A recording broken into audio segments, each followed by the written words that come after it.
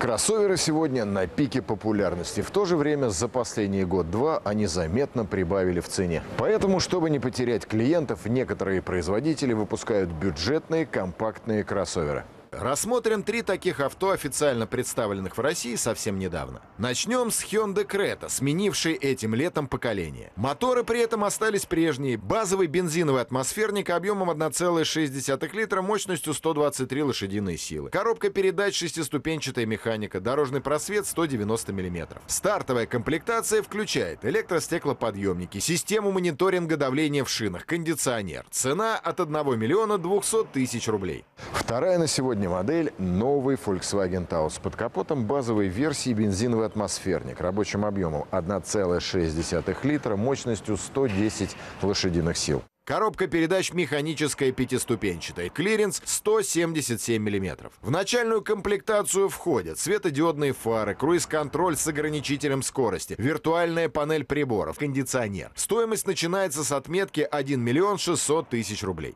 Третья на сегодня новинка Chevrolet Trailblazer, превратившийся из большого внедорожника в компактный кроссовер. Под капотом тоже все по последней моде. Бензиновый турбированный малообъемник на 1,3 литра мощностью 150 лошадиных сил. Коробка вариаторного типа. Дорожный просвет 194 мм. В списке стандартного оснащения 6 подушек безопасности, электронный круиз-контроль, парктроник, кондиционер. Цена от 2 миллионов рублей. Подытожим. Стартовая комплектация Креты откровенно бедная, но доплатив немного, можно получить и приемлемый набор оборудования, и автомат, и даже полный привод. Последний, кстати, сочетается даже с базовым экономичным мотором. Таус на старте стоит как топ-версия Креты, но за немалые для этого подкласса деньги предлагается скромное оснащение, слабый двигатель и только механика. Придется доплачивать, причем сразу за более мощный турбомотор, поскольку автомат и уж тем более полный привод сочетаются исключительно с ним. База Chevrolet в целом приемлемая, к тому же сразу предлагается мощный современный двигатель. Однако ценник в 2 миллиона неоправданно высок даже по нынешним меркам. На мой взгляд, тенденция налицо. Производители и дальше будут расширять свои модельные ряды, чтобы охватить все ценовые сегменты. Больше кроссоверов, хороших и разных. Вот девиз сегодняшнего дня.